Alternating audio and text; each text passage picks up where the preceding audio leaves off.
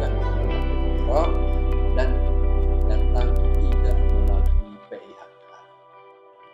Jadi bukan travel yang biasa memberangkatkan jamaah haji khusus, tapi ini adalah travel biasa.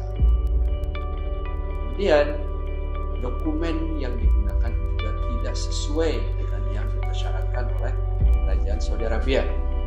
Karena itu sebenarnya bandara. Jadi misalnya orang dari negara lain menggunakan kota negara lain berangkat dari Indonesia tidak menggunakan juga travel tentu saja karena tidak menggunakan travel atau PHK yang resmi maka mereka juga tidak laporan.